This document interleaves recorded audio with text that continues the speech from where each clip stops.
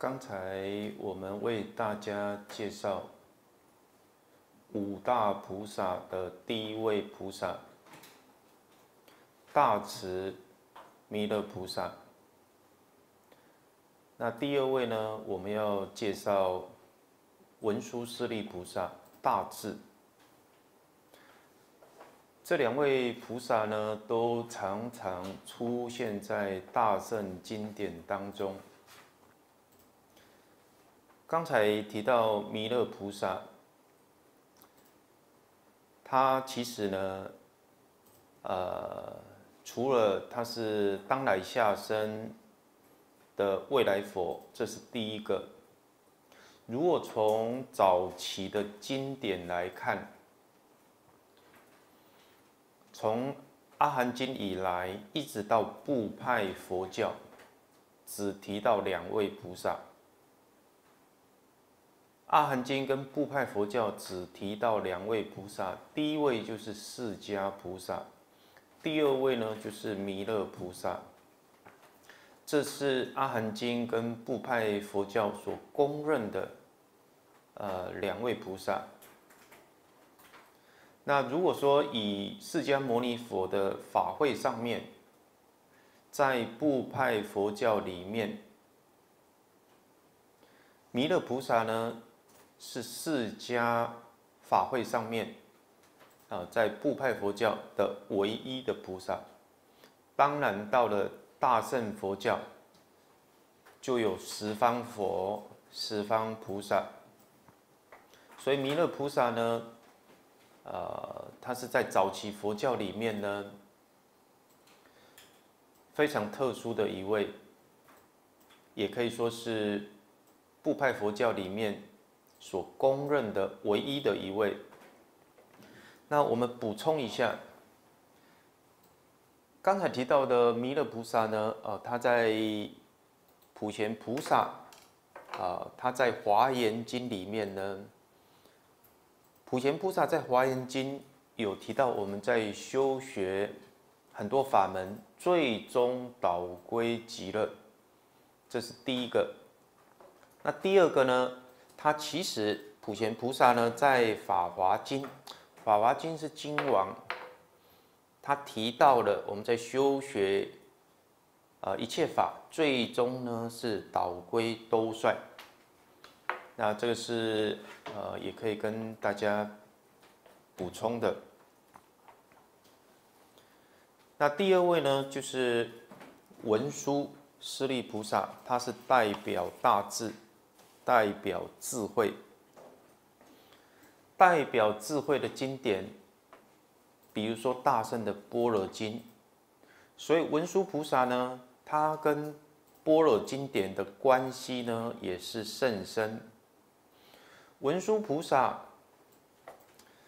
他有两个身份。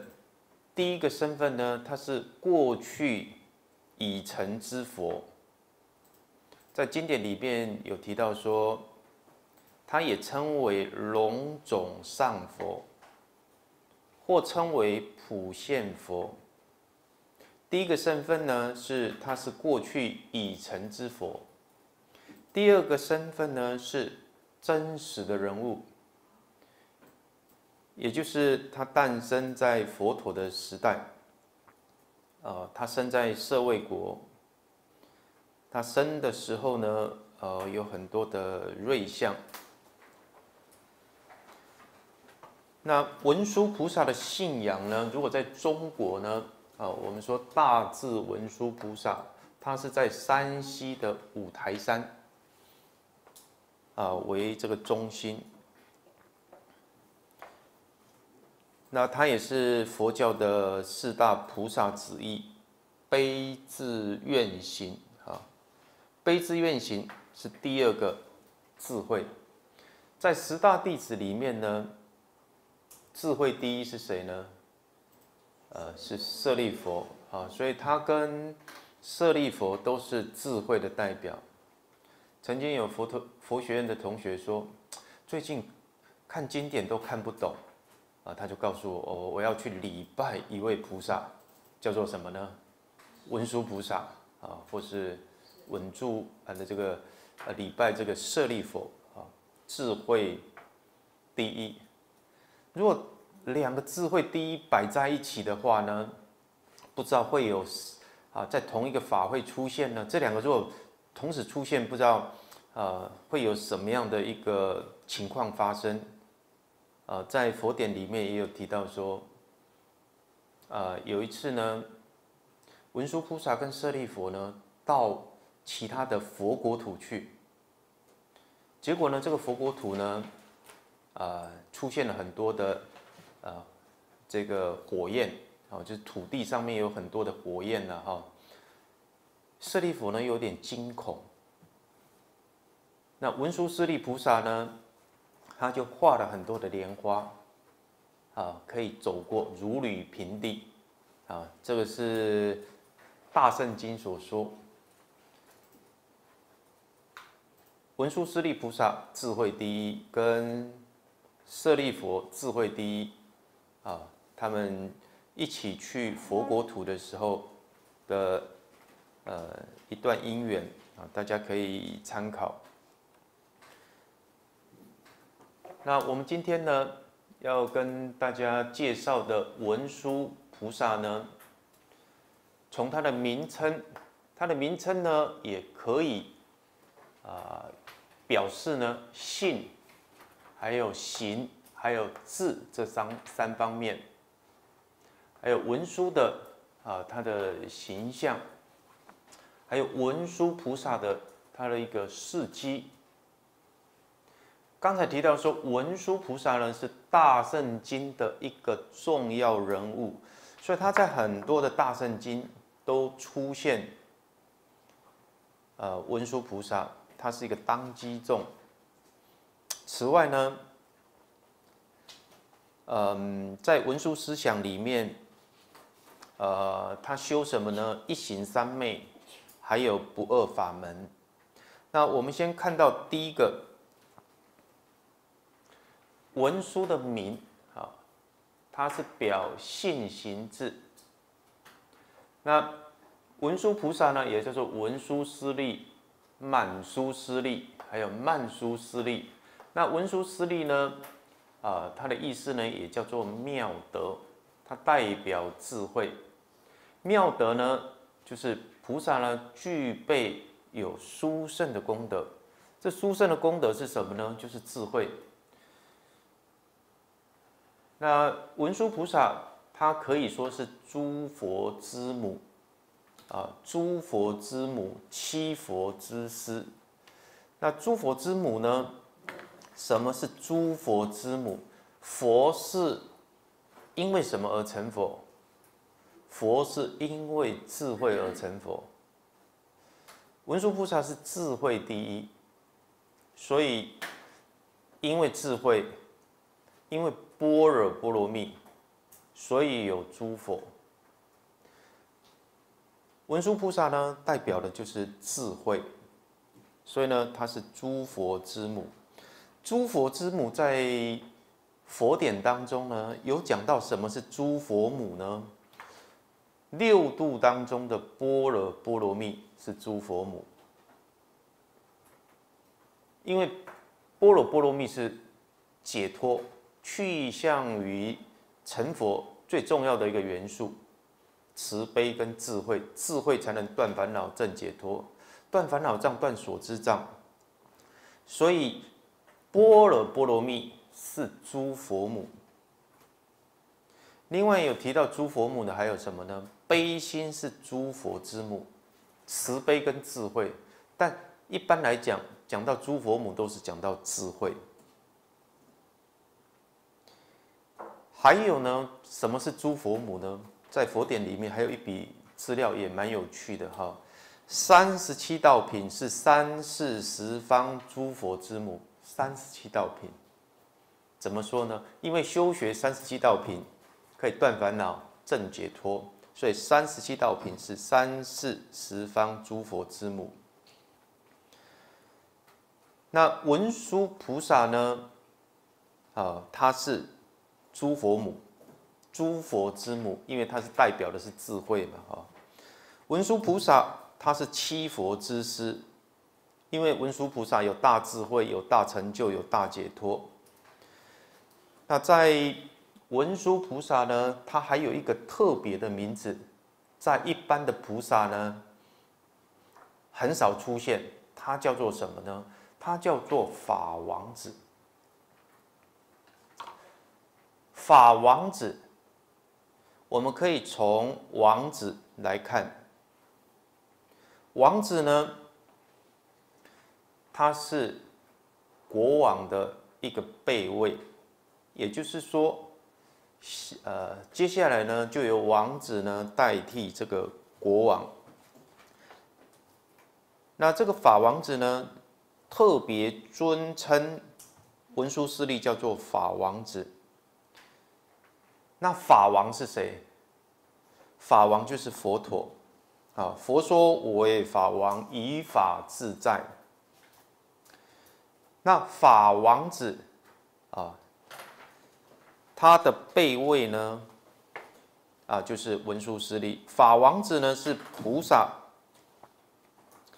因为他是王子嘛，哈，他是菩萨。比如说国王的太子呢。他是一个候补国王的一个位置。那文殊师利呢？他是佛的继承者，所以他称为法王子。那大家会想说，那如果说继承佛位，补处菩萨都是啊，像观音菩萨、西方三圣，观音菩萨是不是也是备位菩萨？他也叫做补处菩萨嘛？那他是不是也可以称为法王子呢？不可以，唯有文殊师利，他称作法王子。为什么呢？因为我们要得到佛果，要从菩萨的因地去修学。因地修学主要的就是什么呢？主要的就是智慧啊！文殊菩萨有高超的智慧。于诸菩萨当中，智慧第一。那他跟佛的啊这种大菩提、大智慧呢是相近的，所以他接下来进一步呢，他就是佛了。所以在经中处处称文殊师利呢叫做啊法王子，因为文殊师利菩萨呢他有大智慧。他有大成就，他有这个大解脱，所以呃，文殊师利他也叫做妙德啊，他是指智慧，他是诸佛之母，他是七佛之师啊，他是法王子。第二个名字他也叫做满殊师利啊，他翻译作妙手啊，妙手呢就是。他非常的殊胜，在菩萨的修行当中，他是非常的殊胜。手呢是头的意思了哈，所以我们说，呃，文殊菩萨呢是诸菩萨的上首，他是诸菩萨的上首，就好像十十大弟子里面，呃，舍利佛是诸弟子的。上手啊，妙手。那这个智慧呢的产生呢，它是要由性哈，妙手呢也有表性的意思了哈。那性为道源功德母，长养一切诸善根。这个妙手表性，性为万行万德之头首故。所以第二个名字妙手，第三个名字呢曼殊斯利。它叫做妙吉祥，这个表真行啊，实践的意思。那它有三个意思，在诸解书里面，他说这尊菩萨呢，一切世间亲近供养赞叹，因为他有甚深的智慧，智慧第一，甚深的般若波罗蜜。第二个呢，于冤亲中平等利益，不为损恼，因为他有智大。啊，这个甚深的智慧，他能够对啊一切众生平等利益，不为损恼。它的实践力行。曼殊斯利叫做妙吉祥呢，它在生的时候呢有十种瑞相，啊，这十种瑞相呢在我们课本里面，啊，我们看到课本，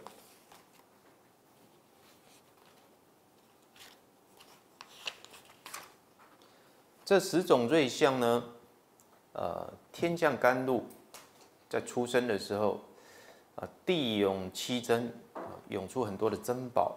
啊仓变金粟啊，就你的仓库里面呢，变出很多的钱财，还有这个粮谷。庭生金莲，光明满室，鸡生鸾凤，马产麒麟，啊，牛生白肚，啊，猪蛋龙豚。六牙象限，那以他的身份呢？啊，刚才提到说有两个，一个呢是出生在公元的六世纪，啊，那另外一个呢，另外一个呢是说文殊师利菩萨呢，他是他方的菩萨，他应释迦牟尼佛，啊，他之请来此此方国土呢度化众生。所以文殊的名呢，啊，它有文殊师利、满殊师利、曼殊师利，啊，也翻作妙德、妙手、妙吉祥，啊，有一些金色呢，啊，他会把取这呃取这个名称叫做妙吉祥金色啊，或是妙吉祥讲堂，它就代表什么呢？啊，还有。文殊讲堂啊，这都代表那个智慧的意思啊。好，我们看文殊的他的形象，他的外相。第一个呢，他的头顶哈有五髻啊，啊，呃，文殊菩萨哈，他有两个相，一个是天人相，一个是出家相，一个是出家相啊。出家相呢，他是在。呃，佛事的时候，等一下呢，我们会介绍到，啊，那他在结下安居的时候呢，他跟王公才女在一起哈，然后呢，他就被大家舍所喝着，好，那这个时候呢，他现的是什么相呢？现的是出家相，那这里呢，啊的形象呢，它是啊天人相，天人相呢顶有五髻。头顶呢有五个法器，这五个法器呢表示五种智慧：法界体性智、成所作之妙观察智、平等性智，哦，还有大圆镜智。还有我们可以看到说，他的左手呢执莲花，花的中间呢放了一部什么经呢？般若经。所以刚才提到说，呃。文殊菩萨跟般若经呢有很大的渊源关系，它是表示什么呢？放这个般若经表示般若一尘不染。我们说它是智慧的代表嘛，那般若一尘不染，如大火炬，四边不可触，触之即烧。第三个呢，他的右手执宝剑，这宝剑。是代表什么呢？智慧大智啊！我们说，啊，斩断八万四千的呃烦恼丝嘛，哈，就是用什么？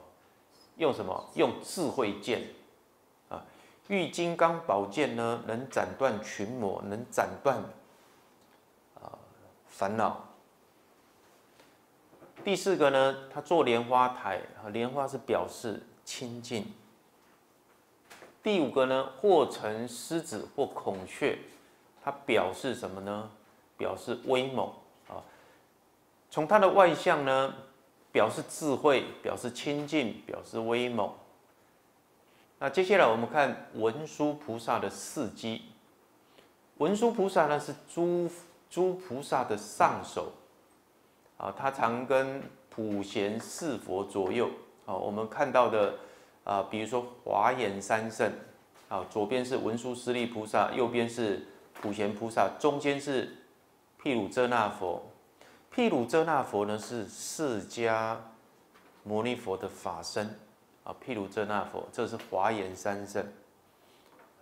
我们有讲到很多的三圣嘛，哈。那西方三圣呢，中间是阿弥陀佛，还有观世音菩萨，还有大势至菩萨。那这个东方药师佛呢，中间是药师佛，啊，日光菩萨跟月光菩萨，日光菩萨跟月光菩萨有没有什么特别特别的代表？哪一个代表智慧？日光菩萨代表智慧，月光菩萨啊代表慈悲啊，所以你看菩萨呢，呃，很多菩萨他都是有他的一个代表。啊，偏重啊！哈，刚才提到说五大菩萨呢，慈悲智愿行，这五个的圆满就是佛。那因地的菩萨呢，在修学当中会有他的一个偏重所在。那文殊菩萨呢，是诸菩萨的上首，在声闻佛教呢，讲到十大弟子的上首弟子呢，会讲到双贤弟子，舍利佛跟目犍连。在大圣菩萨呢，会讲到菩萨的上首弟子呢，一般会提到两个，一个是文殊菩萨，一个是弥勒菩萨。啊，上首当中的上首呢，一般是指文殊菩萨，啊，诸菩萨的上首。刚才也提到说，文殊菩萨呢，他是一个智慧的化化身。讲到文殊菩萨，大家就会想到智慧。如说般若是诸佛之母，啊，文殊呢是诸佛之母，文殊菩萨呢是七佛之师。那文殊菩萨呢，他有一个重要事迹，就是他大力的辅佐释迦佛呢，宣扬大圣的思想。啊，他有很大的一个贡献。那等一下呢，会提到有几部啊，这个大圣经呢，哈，都是跟文殊菩萨呢，他是有关的。另外呢，文殊菩萨呢，也帮助在释迦佛当中有很多声闻弟子呢，回小向大。那这个呃，文殊菩萨，因为他有甚深的一个智慧啊，另外呢。文殊菩萨呢，他也用杀佛的方式呢，啊，让这个五百比丘呢，呃，误解大圣的一个宗义啊。那这是一个很特别的方式啊，哈。那一切诸法毕竟空，哈，他这个跟呃过去生当中呢，啊，这些比丘呢，因为犯了一些杀佛的逆罪啊，然后呢，对理解大圣呢，他有所障碍。那文殊菩萨呢，就啊，在呃自己本身啊拿了一支剑，他要去杀佛啊。那佛呢，在这个时候呢，啊这样的一个因缘呢，就说明罪性本空，一切诸法毕竟空。那让这些声闻啊修行者呢，他能够体悟到空义啊，那这是呃文殊菩萨的一个很特殊的一个呃度化声闻的一个方式。那还有呢，文殊呢深解大圣空义啊，他也熟练什么呢？他也熟练神通幻术。好，他用这个神通呢，也度化了很多的比丘，好，让这些比丘呢，能够呃修学这个大圣法。另外呢，呃，文殊呢，啊，他也遵循佛陀的嘱咐呢，托付在佛灭度以后，与阿难。还有弥勒菩萨在铁围山结集大圣经典。我们说结集经典分两类，一个是声闻的经典，一个是大圣的经典。上次提到说，十大弟子里面，佛灭度以后，是谁主持第一次结集呢？迦摄尊者，啊，那由阿难诵经，啊，优婆里诵这个律，啊，那这里呢，大圣佛典的结集呢？啊，是由文殊菩萨、还有阿难、还有这个弥勒菩萨，所以呃，如果结集经典了，哈，有一位呢，他是在小圣结集、大圣结集都出现的人物是谁？呃，阿难尊者，啊，阿难尊者。好，第八呢，大圣空有二宗。它是来自于，哦，我们说龙树，还有龙树菩萨跟无着菩萨嘛，哈。那龙树菩萨跟无着菩萨呢，一个是空中，无着是有中。那我们相传呢，无着菩萨呢，他在讲《瑜伽四地论》的时候呢，是晚上，他到多帅天。听弥勒菩萨说法，白天呢下葬，啊到人间，啊的一个讲堂，啊说瑜伽师地论，所以在佛事的时候的空有代表是什么呢？啊如果大圣是龙树菩萨是代表空中，无着菩萨呢是代表有中，佛事呢是以文殊弥勒为空有的代表，也就是说佛事的时候文殊。菩萨是代表空中的一个人物啊，弥勒菩萨呢是代表有中的人物。在第九个呢，刚才有提到说文殊以舍利佛呢游诸佛土的时候，这两位都是智慧第一，一个是大圣的智慧第一，一个是呃声闻的智慧第一。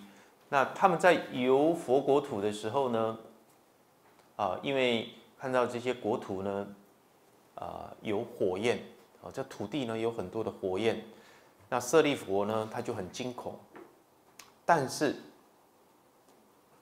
啊，文殊菩萨呢，他就在这个火焰上面画了很多的莲花，啊，那可以行走自在的行走，如履平地，那这是两位智慧第一啊，他们。呃，在有佛国土有这样的一个现象。那另外呢，文殊啊问佛，我们在末世的时候持经呢，它的一个方法，那佛特说这个安乐行，便于后世来读诵啊。那这时候呢，就介绍了这部《华华经》。接下来我们看。文殊菩萨呢，他是大圣经的一个重要人物。我们说，在大圣经当中，称文殊为法王子，称他为什么呢？青年的导师啊。那比如说啊，他啊也这个劝这个呃善财童子呢，广学一切法。那大圣经称文殊为法王子。第二个呢，善财童子呢，他也是听到文殊说法。啊，文殊菩萨说叫他要发菩提心呐，哈，要学什么呢？普普贤菩萨的大行。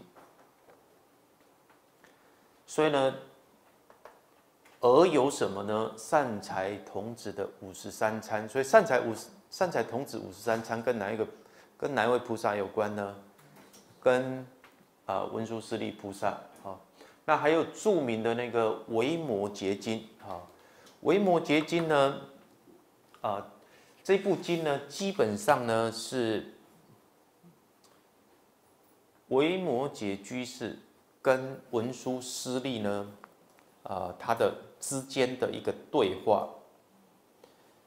那主要是那个维摩诘居士生病哈。那佛呢，派很多声闻弟子要去跟他探病，每个人都不敢去，啊，为什么每个人都不敢去呢？因为这些声闻弟子呢，都曾经被维摩维摩诘居士呵斥过。后来派谁呢？派弥勒菩萨去，啊，弥勒菩萨说我也不敢，啊，所以大家都不敢。最后呢，派出以文殊菩萨为首，啊，有菩萨有声闻一个很大的代表团，去到维摩诘居士那边，啊。所以呢，呃，在这部经里面呢，啊，这个佛派文殊菩萨探病维摩诘居士，这部经主要的就是维摩诘居士跟文殊菩萨的一些对话。那另外呢，啊，在圆觉经，哈，它也是一个文殊菩萨，也是一个发起人。还有我们在上次十大弟子里面有提到。楞伽经啊，楞严经，楞严经呢，它在说明阿难遇到这个淫女摩登伽女啊，有这个摩登伽女之难呢，佛是派谁去救护阿难？呃，佛是派文殊菩萨呢，啊，他去呃用这个楞严咒呢去救护。阿难尊者。那另外呢，在《法华经》里面呢，佛呢放光。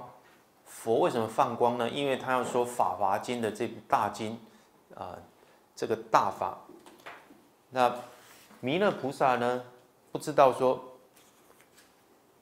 佛为什么要放光啊？那文殊呢？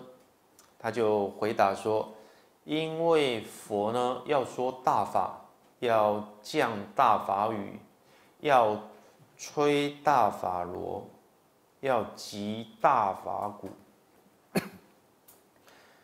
要演说大圣的大法义，啊，欲令众生得闻一切世间难闻之法，所以放光。所以从这边看起来。”啊，弥勒菩萨不啊不了解，那文殊菩萨呢？啊，他能够知道，从很多的地方呢，就可以凸显出文殊菩萨的一个智慧。另外呢，呃，文殊菩萨呢，他也修学一个法门，叫做一行三昧，在我们课本的二四六页。啊，文殊菩萨以修一行三昧著称于世。那三昧是定的意思啊，指啊我们的心呢专于一行啊一个修行而修习而修习成就的一个正定啊。这个一行三昧呢，也叫做真如三昧，也叫做一向三昧。哦，也叫做一向庄严三摩地，这个在《大智度论》里面也有提到。那修这个一行三昧呢，它可以分成两个部分，一个是事相上的一行三昧，还有理上的一行三昧。事相上的一行三昧呢，就是修什么呢？一心念佛的念佛三昧，一心念佛一个行嘛，哈，一种。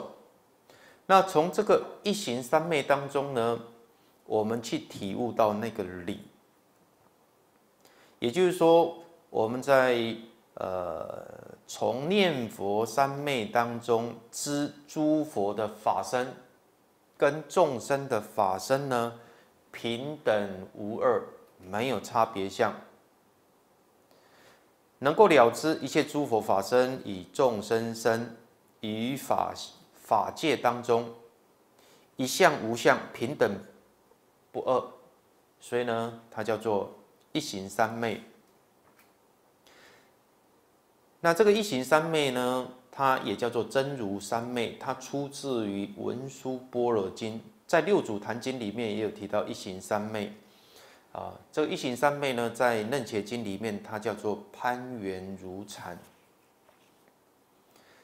那它的呃，它的一个修法呢，我们要修这个一行三昧啊。他说：“当先闻般若波罗蜜，然后呢，能入一行三昧，如法界缘，产生不退、不坏、不失意。所以要先闻般若波罗蜜啊，因为文殊菩萨呢，他跟那个智慧是有关的。那第二个呢，欲入一行三昧呢？”啊，你要找到一个空闲的地方，舍诸乱欲，啊，不取相貌，细心一佛，专称名字。因为一行嘛，所以呢，细心一个佛，然后念佛，念念相续。你从一个佛当中呢，在念中能见。过去、现在、未来诸佛，我们从一行当中，我们从一个佛当中知道过去佛、现在佛、未来佛。一行嘛，哈，由一知道一切啊。何以故呢？因为念一个佛的功德无量无边，也与念。无量无边诸佛呢，它是功德不二的，所以呢，有一行的念佛知三世一切诸佛，那尽知一切诸法呢，它是无差别相的，由一知道一切，这是一行三昧。第二个呢，啊，他这边也提到了不二法门。那文殊菩萨呢？他也可以说是大圣空义的奠基者，不着空，不着有，这是不二。不二呢，它是呃，也可以说离空跟有的二边，它的含义是相同的，也就是离有的一边，啊，离空的一边。那对一切法呢？无言无说，无事无事，啊，入这个啊离语言文字的不二法门。那在文殊菩萨呢，呃，他的修修行当中呢，呃，我们知道说他跟大圣经呢，哦，他有很密切的一个关系。那很多的大圣经。啊，都有文殊菩萨。刚才提到说，在大圣当中，文殊菩萨跟声闻的舍利佛呢，同是智慧的代表。那大圣呢，大圣佛典呢，哦，它的两个特色就是慈悲跟智慧。如果五大菩萨来讲，哈，悲智双印是哪两位呢？悲智双印。智慧就是啊，文殊菩萨嘛，哈，大智文殊菩萨，这个是智慧嘛。那悲呢？观世音菩萨，好，悲智双运，好，这是呃观音菩萨。好，我们今天呢，为大家介绍两位菩萨，啊，第一位呢就是弥勒菩萨，啊，第二位呢是文殊菩萨。这两位呢，基本上都是佛的上首菩萨，主要的上首呢是呃文殊菩萨啊。那一一位呢是慈悲的代表，一位是什么呢？啊，智慧的代表。那慈悲跟智慧是我们去向于大圣佛典的。两个重要的一个元素啊，那每尊菩萨呢都有它的特德、特有的一个功德啊。比如说，我们说弥勒菩萨，弥勒菩萨呢，他出发心呢啊，他就素食啊，这个呢是非常的特别，而且呃进行受敬未来际啊持守这样的一个法门。那我们后面呢还有三位菩萨：普贤菩萨、地藏王菩萨，还有观世音菩萨。那我们下一次呢，呃，跟大家介绍。那我们今天就上到这里，我们回向，大家请合掌，愿以此功德，愿以此功德普及于一切，普及于一切众生与我等，众生与我等，皆共成佛道。皆共成佛道。啊，非常感谢大家。